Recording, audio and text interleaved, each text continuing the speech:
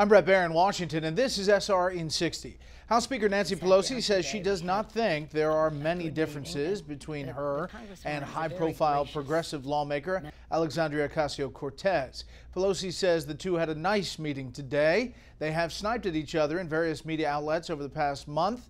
The big discussion today what's next on impeachment? We'll have a full report.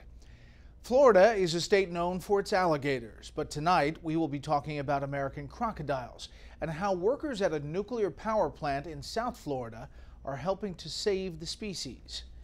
This morning, a group of lawmakers from both sides of the aisle and others put aside any partisan differences for a while and got together for a great cause. They cleaned one of the most poignant sites in the nation's capital. It's a good way to end the week. We'll show it to you tonight. Breaking news changes everything. Join me for a special report tonight at 6 Eastern.